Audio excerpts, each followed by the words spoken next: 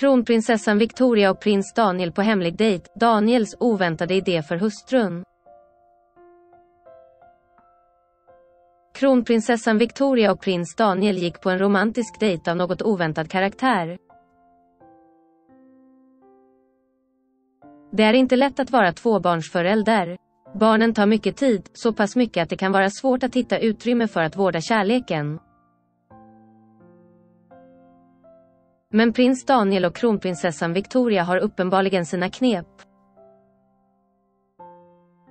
Svensk Dam kan nu avslöja att paret var på en hemlig dejt i onsdags, den 24 januari, utan prinsessan Estelle och prins Oscar.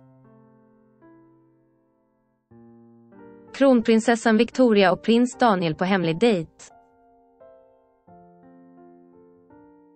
Daniel och Victoria gick nämligen på en filmpremiär på den anrika biografen Sita på Östermalm. På programmet stod Ett hjärta är alltid rött, dokumentären om det ikoniska bandet Imperiet. Enligt Svensk Dams uppgifter var Daniel och Victoria på plats i biosalongen och såg ut att uppskatta upplevelsen. Många hickar nog till kring att Victoria visat ett sådant intresse för ett band med Joakim Tåström som förgrundsfigur. Minnesgranna läsare kanske kommer ihåg att samme Joakim sjöng följande låttext när han ingick i punkbandet Ebba Grön.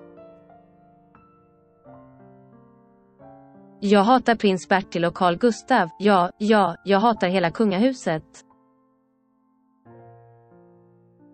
Victorias hemliga intresse kommer från Daniel.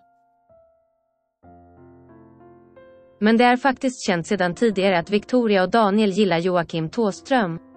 De var på hans spelning på Cirkus i Stockholm 2016, kunde Expressen rapportera.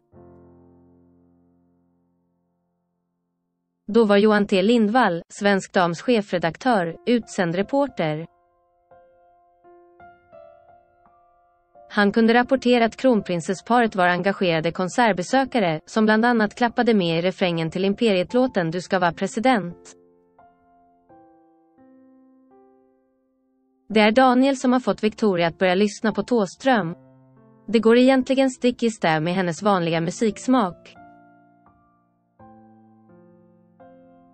Innan hon träffade sin make lyssnade hon mest på trallvänlig pop, som Per Gessle, Lisa Nilsson och Måns Zelmerlöw. Men han har breddat hennes vyer.